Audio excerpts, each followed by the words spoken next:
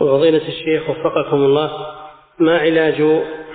ما علاج الكسل والفتور في الأعمال الصالحة أو في طلب العلم علاجه بحمل النفس على الطاعة والعبادة وتعويدها وترويضها على ذلك حتى تعتاد هذا الشيء ويسهل عليها فلا تطاوع نفسك تعطيها ما تطلب من الراحة ومن الخمول بل عالجها.